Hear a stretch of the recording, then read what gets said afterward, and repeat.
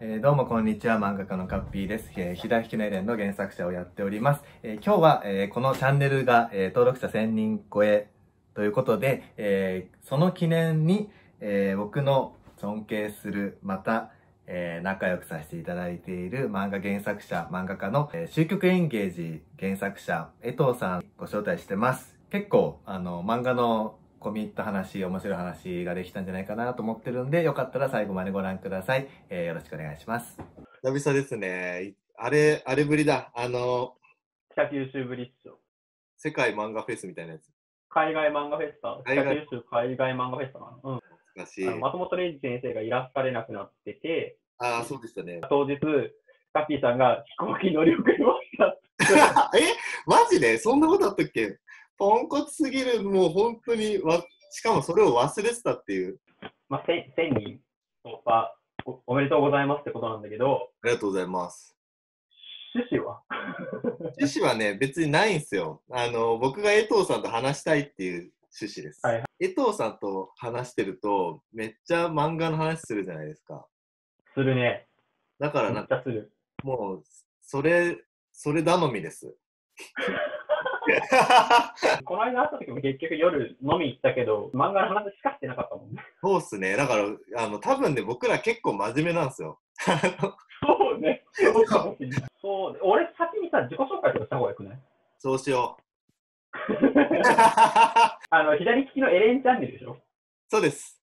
左利きのエレンチャンネルに全然知らんやつ出てきてる状態だから、でもね、左利き年齢読んでる人はね、終局演芸図読んでますよ。そんな、そんなわけないだろ。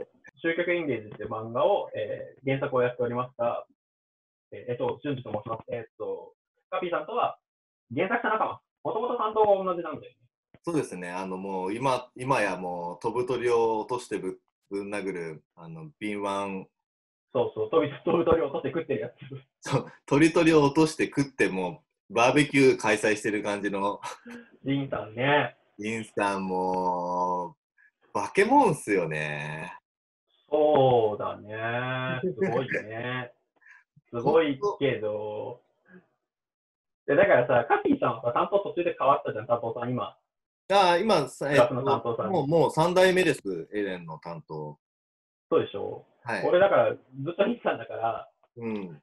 リンさんから俺、1月2日にメールが来たの。あ今年の、そう。あの、ネネームプロット等の進捗いかがでしょうかっていうメールが、1月2日の昼に来たの。はいはいはいはい。マジかと思って。なんかいろんな圧を感じますね、この。そうそう。で、頑張り、頑張ってますって言って、うん。5ヶ月経ってた。ああ、そっか。まあでもそうっすよ。なんか、あの、なんかよく、その漫漫画ってどれぐらいで書いてるんですかみたいな、その、漫画のスケジュールの話聞かれて結構困ることあるんですけど、バラバラだよね。うん、なんかそれはね、なんか週刊連載してるんだったらそれは週刊で収めなきゃいけないけど、なんか読み切りとか人連載の準備とかになるともう何とも言えんっていうか、そうだね。で、今、俺、来月から連載始まるんだけど、ええそれの、やっぱ、あれこれと並行してるから、なかなか始まってしまって、なんていうか、安定軌道に乗らないともう一本ってなかなか難しいなっていうのが今感じてるところで。ですね。いや、僕なんか、その今、今連載してんのが、その左利きのエレンのリメイク版と、うんうんうん。あの自分で絵描いてる原作版の2つしかないんですけど、タイプ。はいはい。なんか、ずっとね、なんか新連載やりたいなってずっと思ってるんですよ。この間なんか言ってたね。そう、ずっと新連載やりたいなと思ってるんだけど、なんかね、ちょっと、むずいっすよね。同時進行ってほんとむずいなと思って。だから、あの、やってたことあるんですけど、もちろん、あの、アントレースとか、てね。うん。はい、スクエアで連載するアントレースとか、あの、バズマンとか、あの、いくつかで同時進行してたことあるんだけど、なんか、うんうん。やっぱり、その、江藤さん、まさに今だから分かってくださると思うんですけど、あの、うんあの、発射するまでが一番大変じゃないですか。大変。要は、第1話。大変。めっちゃ大変。だからその、まあ、あの、漫画通の人は多分分かると思うけど、あの、3話分のネームをまず作り、はいはいはい。編集会議通し、うんうんみ。たいな、なんかそういう、なんか最初の準備ってあるじゃないですか。あれが一番うん、大変だから、大変だね。だからそれで言うとね、あの、それで言うと多分ね、厳密に俺、あの、アントレースと左引きネレンって、しあ連載 GO ってなった時には、まだエレン始まってなかったんじゃないかな。始まってなかったね。始まってなかった。だから、ギリそうそう、ギリ始まってなかったんですよ。だからできたんですよ。だから、あの、連載しながら最初の第1話を書くのが大変っていうのに気づいた。あの、同時に連載するのはまだできるんですよ。始めるのが無理。無理ね。なんか、じゃあ俺いつも言うのが、あの、チャリのペダルって漕ぎ始める一番最初が一番めっちゃ重いじゃん。で、その後ずっと漕いでるとめっちゃ簡単になってくるから、うん。その簡単っていうかさ、その、なんていうかな、流れができるから、連載ものは。うん。カッピーさんは結構企画をさ、その、細かいのを含めてさ、エレン絡みのその広告案件とかも含めてさ、結構並列で進めてる印象あるけどさ、あれスケジュール管理どうなってんの？何もしてないです。あの、僕、スケジュール管理何もしてないんですよ。あの、うんなんか分かってたけど。本当にもうその辺の、だって飛行機寝坊で遅れるやつですよ。なんもだから、多分だけど、その僕があの広告案件とか、うんうん。あのなんかプロジェクト、プロジェクト的ななんかあの、こといろいろやってるんで、うんうんうんあの、下手すると多分ね、読者の人に結構しっかり者だと思われてそうだなと思って。うん。いや、思うんじゃない？だってほら、ね、広告案件、新聞広告載せるぞとかさ、例えばそのクラウドファンディングで、そのゼロ感はいはい作るぞとかさ、その書き下ろしもやるぞとかさ、そうですね。やまあ、ってんじゃん。まあ、大抵誰かが助けてくれてるっていう。で、なんかさ、結構そのハイプのさ、その予定外の書き下ろしじゃないけど、はい。あれもやってるじゃん。その、例えばこの間、あ、えーっとね、ユニセフですね。ユニセフか、ユニセフのやつとかも書き下ろしでやってたし、えーめっちゃやってんなーって普通に思ってるけどね。でも本当に一個ずつしかできないんですよ。あの、本当に一個ずつしかできなくて、同時にができないから、一個を早く終わらせることしかや、努力しがいがないっていうか、マルチタスクとは、あの、一番縁が遠いタイプで、しめっちゃシングルタスクなんだけど、たくさんやるには、一個を早くやるしかないっていう感じ。だから、あの、そうだよね。ワンコそば方式なんですよ。はいはいはいはいはいはい。だから、でも結局さ、その、うちらの仕事って基本的にネームじゃん。うん。ネームとか原稿でしょ。でさ、それってさ、そもそもマルチタスクができないじゃん。できない。やってるときは、やってるときは書いてる、絵描いてるときに、うん。なんていうか、右右手で左手で漫画描くわけにいかないから、うん。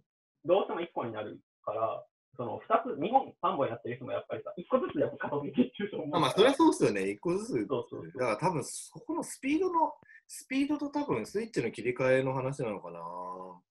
そうだよね、切り替えだと思うんだよね。俺、切り替えめっちゃダメなのよ。ああ、僕も、あのーえっとね、僕、中1日必要です。アントレースとエレン同時にやってた時はそうしてたってこ中1日開けてました。とあで、その、その中1日は何もできない。ずっとブレイキングバット見てる。あれ、さっきの好きな漫画に答えます？じゃあ、好きな漫画。影響を受けた漫画。ー影響を受けた漫画？ああ。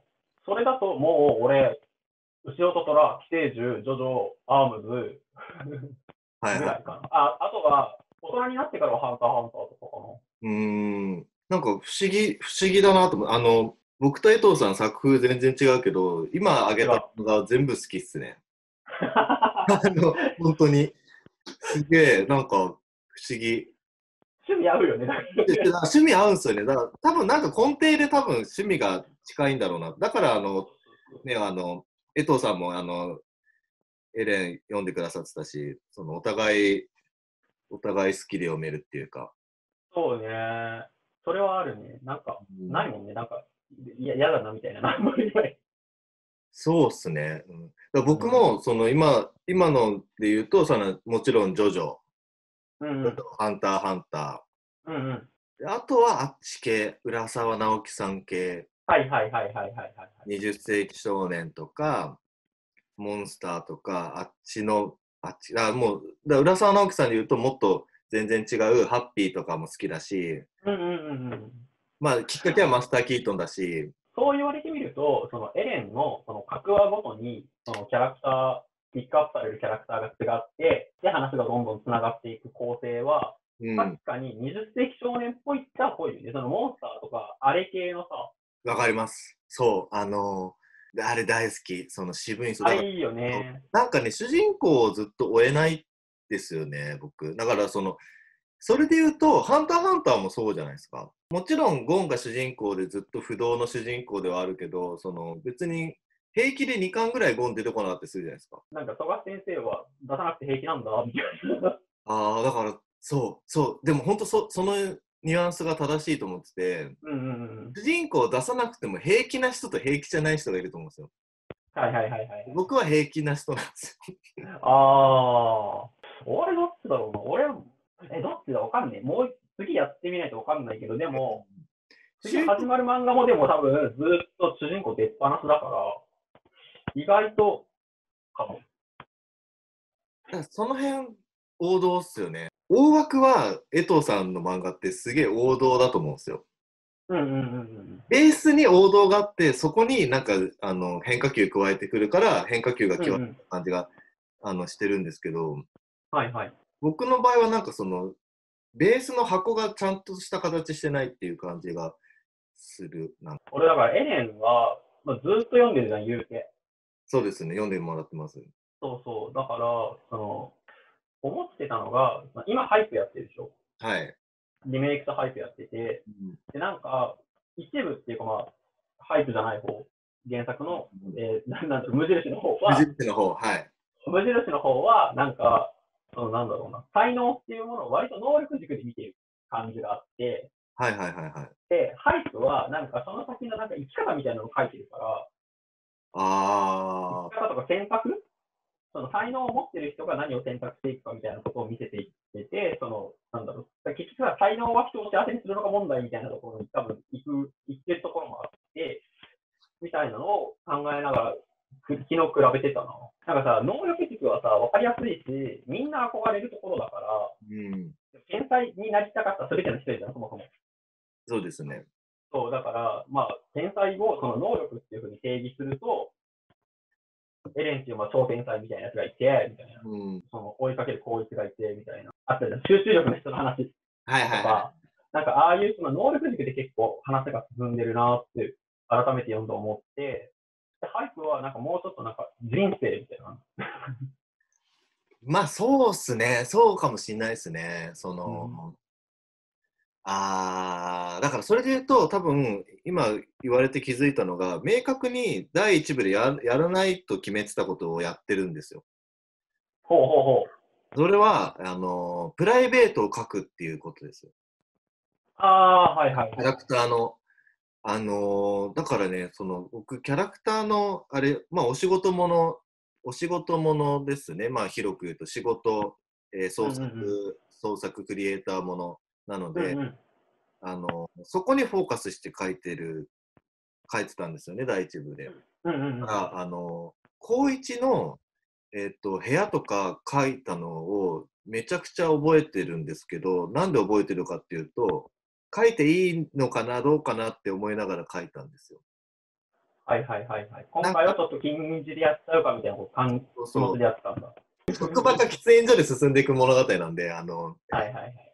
高一の部屋を出していいのかなって思思いながら書いた記憶があって、第2部のハイプに関しては、あのー今まで無視し無視してた、目をつむってたプライベートを書いてるって感じなので、うんうんうんうん。そっちの方がでもしんどいんですよね。だからある種今まで、今までそこを書かなかったから、その、だ例えば沢村さんとか、ああいう仕事に生きて家族を犠牲にしてしまったらしいっていうキャラクターが出てくる。でもその、その詳細は描いてなかったんだけど、そこを、やっぱそ、そこを書いてなかったから、えっと、例えばその、沢村さんかっこいいぐらいしか思ってなかったとしても、そのなんかそこをね、書き始めると、もしかしたら沢村さんのこと一回嫌いになっちゃうかもしれないとかあるじゃないですか。ああ。でなんかその、はいはい現実でも、あの人仕事すげえできるけど、プライベートカスだよねみたいな人っているじゃないですか。いるね。でも、それをなんか、あの、あいあの人、すげえ仕事できるけど、プライベートカスなんだよねって聞く分ではなんか、へえ、でも別にそこは知らねえけど、まあむしろ面白いんじゃないぐらいの感じじゃないですか。でも、そのカスなところをじゃあ目の前で見ちゃったら、あの、ちょっと違うじゃないですか。そうだね。うん。はいはいはい。なんかそんな感じであ、あんまりなんかそこを書くと、多分キャラクターの感情移入とかが多分ちょっと全然変わるなと思ってて、ハイプでそこを全部書こうとししてるっていう感じですね。今さ、リメイク版、ジャンプクラフさんでやってる方のリメイク版もさ、115話がまあ超良かったじゃん。115って、あれか、あのー沢村さんと神谷のはいはいはいはい。喫煙所での、それこそマジで喫煙所でのその、まあ、114、5、6っていうので、だからあそこにもちゃんと沢村さんのあれを書いてて、うん。あだからなんかこう、俺、だからハイプと同時で読むじゃん、やっぱり。ああ、ありがとうございます。そうそうそう。だからそうすると、おおおおおおみたいな。そうっすね。でも115はマジで良かったね。あの、なんか、あありがとうございます。スカッピーさんのネームも良かったし、ニフニさんの映画マジでめっちゃ走ってたよね。うーん。あれマジで良かっ確かに、ここ、今公開されてるところらへんた。うんうん。が結構勝負だなと思って、ネームも書きましたね。神谷ってそういう、そういう感じかみたいなさ。うん。原作版で、その、僕の拙さでちゃんと伝わってなかったなっていうところが多分小さくいくつかあったんですよね。スカッピーさん的に。うん。で、それの一つがやっぱり神谷で、うんうんうん。多分神谷がどんなやつか、あの、原作版だけだと、つあの伝えきれなかったなって思ってたところを、今回、二国さんがガッと書いてくれたって感じがするなと思って。あの、はいはいはい。やっぱ具体的には、その、えっとね、ちょっとね、誤解を恐れずに言うと、あの、原作版だと神谷の、神谷がね、かっこよすぎるんですよ。それな？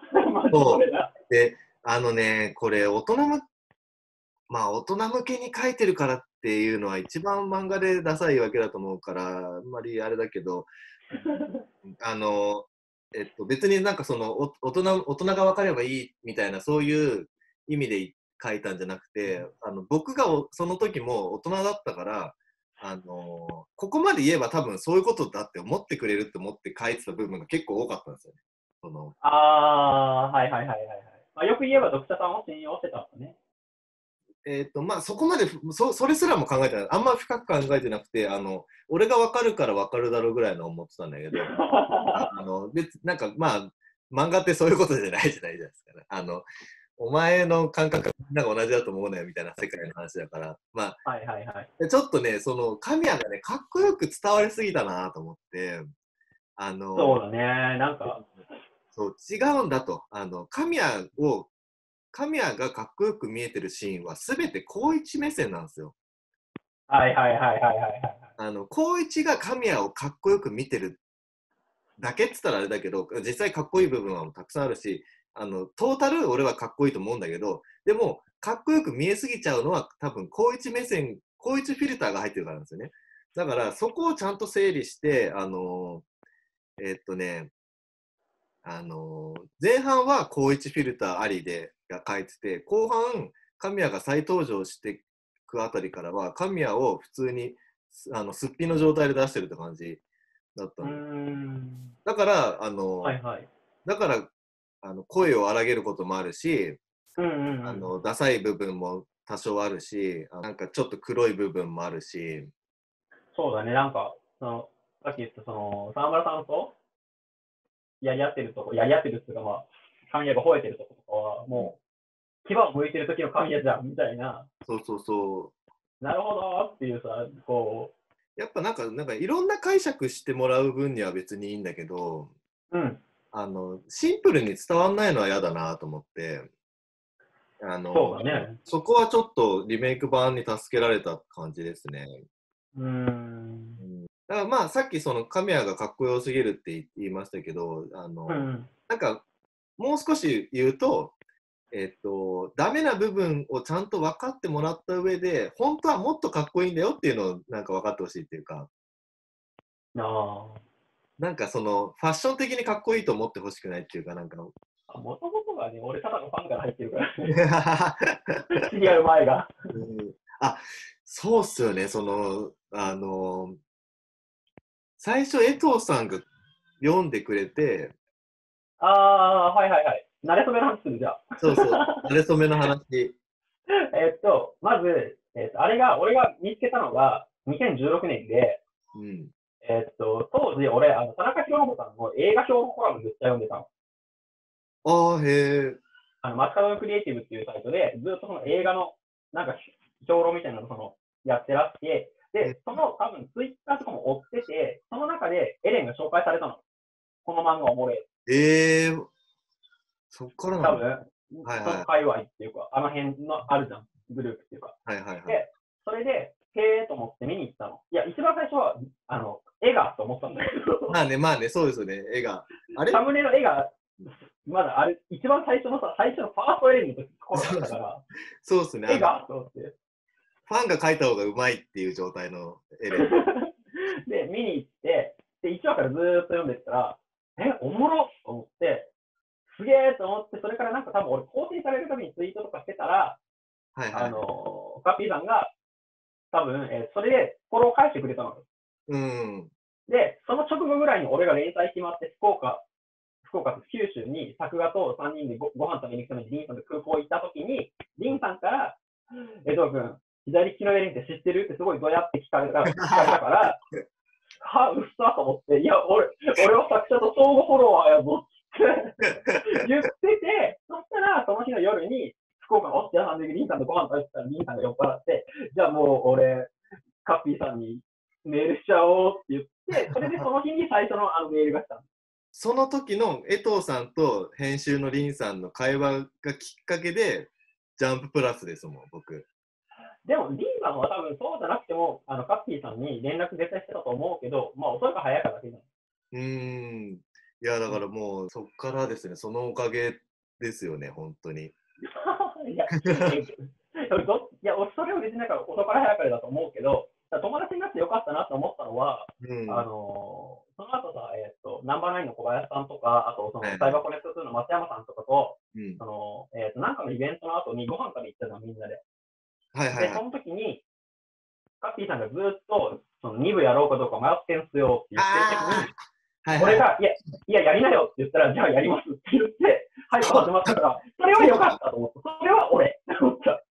結局、そう、本当にあれですね、あのー第2部書いてんのも江藤さんきっかけだから、2部は良かった。だから友達になってて良かったと思った。その言言って書いてくれるぐらいのその関係性っていうか、あってよかったでもね、あれすごい響いて、あの、あのいつか書くだろうなとはずっと思ってたんですよ。言ってた。そういつか書くんだろうなって思ってたんだけど、そのだからね、急いでなかったんですよ。そうそうそう。それを話してたよね、ずっとね。うん。でも、江藤さんが言ってくださった、あの今しか書けないものもあるよっていう、うんうんうん。言ったね。でそれ聞いたときに、っていうか、左利きのエレンって、もうそれが全てじゃんと思って、なんか今しか書けないシリーズじゃないですか。ね。なんかそ熱量とかそういう意味で、あの今この瞬間に書けるものをかえあの書いてきたのが左利きのエレンだったから、あエレンに関しては寝かしちゃダメだなと思って、すげえもう響いて、よっしゃ書きますって言って、そうそうそう言ってくれて、それで結構そんなに間を置かずにハイプが始まったから、うん、早っと思って、で、思ったのは、その、今しか書けないものもあるよねっていうのを言ってよかったなと思ったのは、この間、あの、高一が産休取るじゃないけど、まあ、うん目黒給食？というか、いや、あそこのところを見たときに、はい。今のそのカッピーさんじゃないと多分、その今のななんか生々しい感じで書けないんだろうなと思って。そうですね、まあ相当生々しい。そうそう。だから、おーと思って、なんか良かったなと思って。うーん。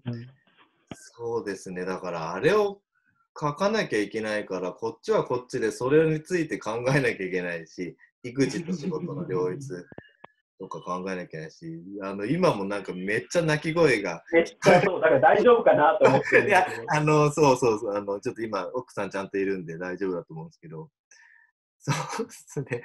その、やっぱり、あの、なんだろうな、きまあ、当然、綺麗事は書けないし、その、自分が悩んでる途中のまま書いてるっていう感じではありますね。うん。だからなんだろう、ハイプ終わ,、まあ、終わったとして、最後まで行ったとして、その何年後かに行くじゃん？行って、うん。それで、例えばその先キャリア積んで10年後とかに読み返したときに、すげえ、あ、俺、俺、この時こうだったなっていう漫画になるんじゃねって思ってる。そうですね。だから、そうだと思います。うん。だからもう、その、僕、ちょっとね、話飛ぶけど、うん。あの、エッセイとかは、多分、今後も書かないんですよ。ああ、はいはい。あのエッセイとかレあのレポート系の漫画だからそっち系の漫画はなんかちょっと違うなってなんか思っててうん。ななんで違うなと思うのかなって思ってたんですけど単純に多分エレンとか書いてることでそっち系の欲求はなんか満たしてるっていうかなんかそのはいはい、はい。あ、の自分が今思ってること悩んでることをフィクションに置き換えて客観的に見て漫画の中でその考えていくっていうのを今やってるからわざわざその本当の自分のこと書かなくていいかなっていうでもなんかでもすげえ自分のこと書いてるっていうかなんか、はいはいはいはい。うん、すごいなぁと思って。じゃあ、それでやれるのもすごいなと思うね。俺はそのスタイルだと漫画描けないから、多分。だから当たり前ですけど僕も江藤さんの書き方は絶対無理だしなんかでもなんかそれをだから面白いっていうかなんかだからリスペクトし合えるっていうかなんかあのその人はもしかしたらそのやり方しかできないのかもしれないけど旗から見るとうんすげえやり方してんなみたいなどうやってやってんのみたいな感じでお互い興味持ってるっていう感じが漫画家同士話してると面白いなと思います。はいはいはい。